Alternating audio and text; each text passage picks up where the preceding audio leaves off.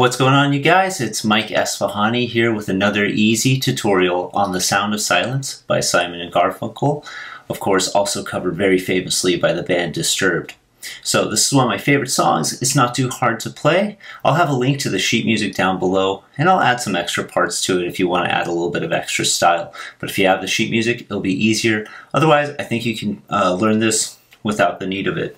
I'll start with the tutorial and then I'll perform it for you at the end. Please make sure to hit that like button, subscribe. It really helps this channel.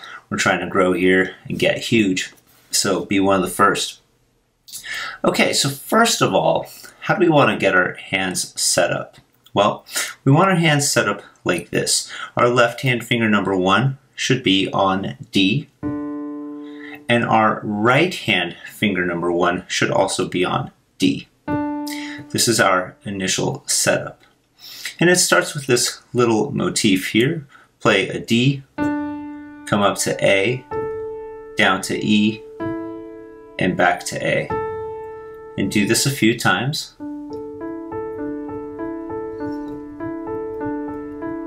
Do it four times. And then add the left hand D. And we go into the part where they sing. So, once again, you start off four times. One, two, three, four. Left hand. Okay, so what do we do there? So basically the melody is part of a D minor chord like that. We have our finger one playing D twice, and then one and three playing D and F, that's your thumb and middle finger, and then D and A, that's your thumb and fifth finger, and then into this E and G. And we'll essentially do this about uh, each short phrase at a time. Meanwhile, the left hand there plays a D and holds it. And then the bass line continues with finger two, that's your index finger, plays a C, and then C, G, C, C, G, C. Here's what it sounds like together.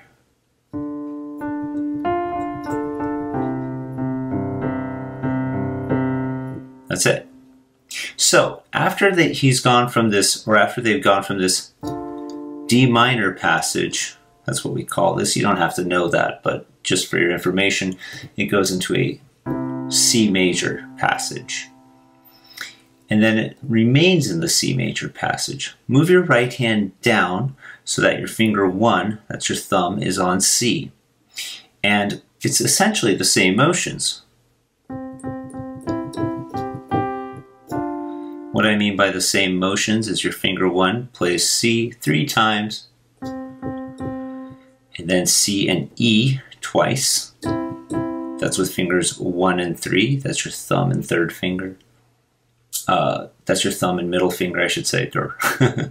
and then your thumb and pinky, one and five, play C and G. Meanwhile, your left hand plays the C. And then right hand fingers two and four play D and F. As you do that, your left hand goes D with finger one, moves down to A and back. So your left hand there is. So let's run through that whole thing together slowly.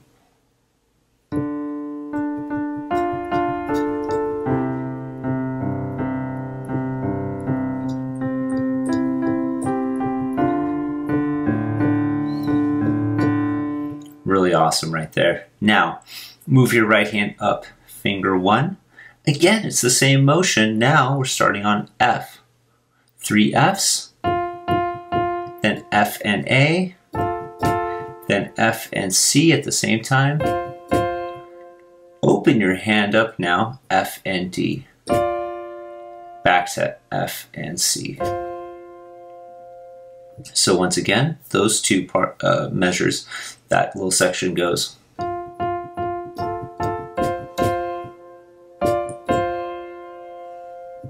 What does your left hand do? plays a D and holds it for four counts. One, two, three, four. Expand out to this black key, B flat, and down to F. F again, up to C, and down to F. I don't I know that doesn't sound like much of anything yet, but when you put it together it sounds beautiful. Let's listen to that.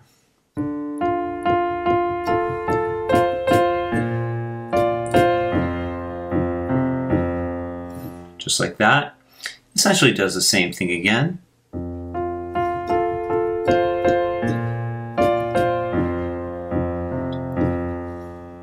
And then this part, the rhythm gets a little shifty, but you play that F and then A with finger three your left hand and B flat. B flat again, down to F. I'm not, get, I'm not going to get too far ahead with the left hand because I want to talk about the right hand now. Right hand one, open your hand up so that you play F and D at the same time. Then, big move, finger three on D. That's your middle finger.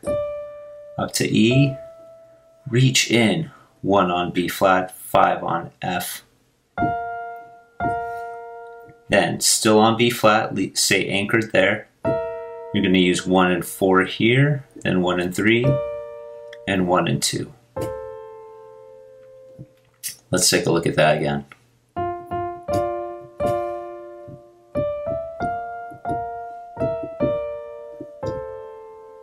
Just like that. So, here's how they sound together.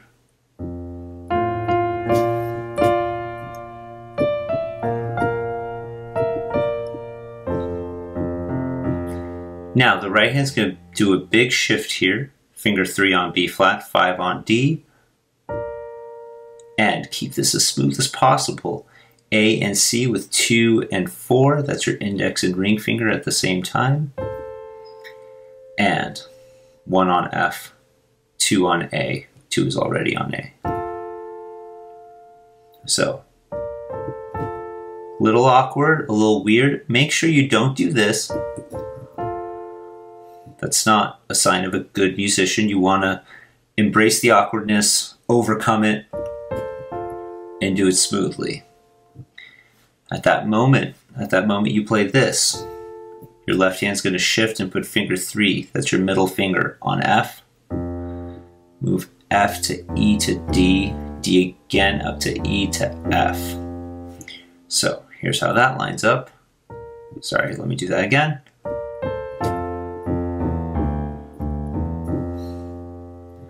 And then here's that refrain.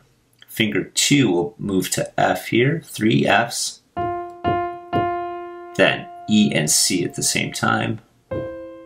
With 1 and 5, that's your thumb and pinky. Put your second finger on E, up to F, down to D. So that right hand portion by itself is and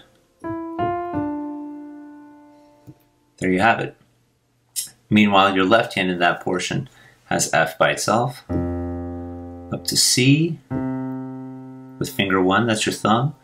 Move again, finger 2 on D.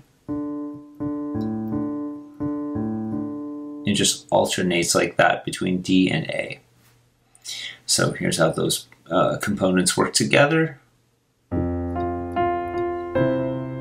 And then move 2 to E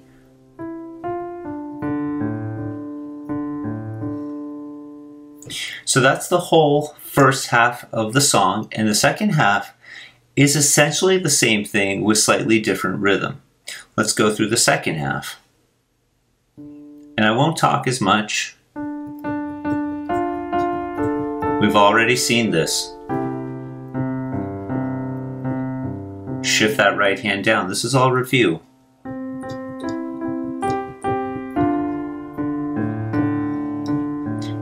Shift the right hand up, one on F.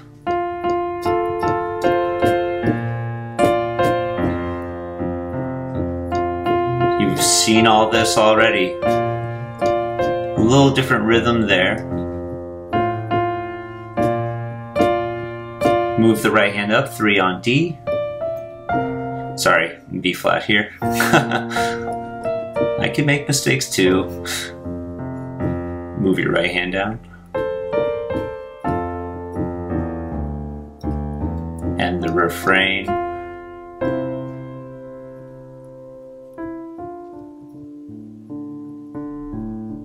Let me play that part again since I uh, had a little goof there.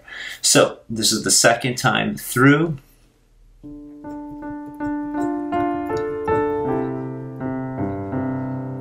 Move down.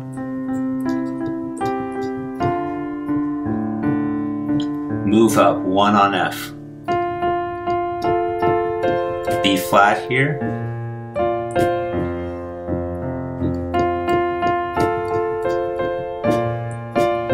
There we go.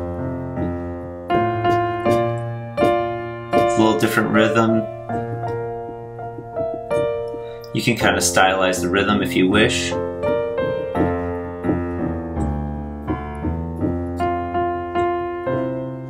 And then right hand moves down. And that's basically it. So again, it's essentially the same thing twice. However, uh, slightly different rhythm the second time, but the positions, the fingering, everything stays the same. Stick around for the performance in just a sec, and I hope you enjoyed that tutorial. Make sure to hit that like and subscribe. Thanks, guys.